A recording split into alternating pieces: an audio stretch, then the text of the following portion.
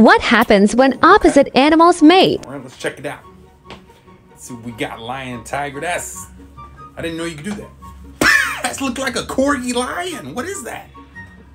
Horse and a zebra. That's a hebra. a zorse. It's actually pretty cool. I'm not gonna lie. Leopard, lion. Leo. Is that Lele Pons? Isn't that an Instagrammer? Female llama and a dromedary. That's a camel. That one looks pretty good. Polar bear and a grizzly bear. That Pizzly. That's literally like a zebra bear. That's crazy. Zebra donkey. What's that? A zonkey? I got one.